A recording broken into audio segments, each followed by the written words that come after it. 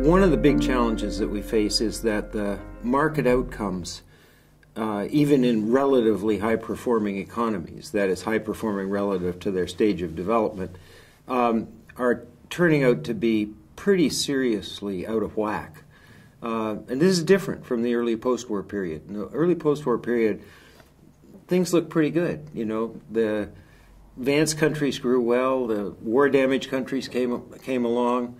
The distributional effects were pretty benign. The middle class grew, uh, opportunity abounded, the developing countries started to grow, and so on. Now we're in a situation in which the income and wealth distributions are skewing the other way. The share of uh, labor income and total income is, is declining.